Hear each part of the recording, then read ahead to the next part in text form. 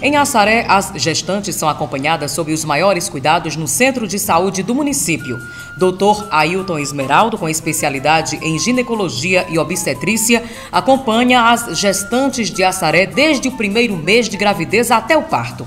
Acompanharemos a reportagem da TV Quixabeira. Toda quarta eu estou aqui no município e a gente tendo primeiro a parte do ultrassom, que é em torno mais ou menos aí, são a base aí de uns 30 a 35, 40 ultrassons.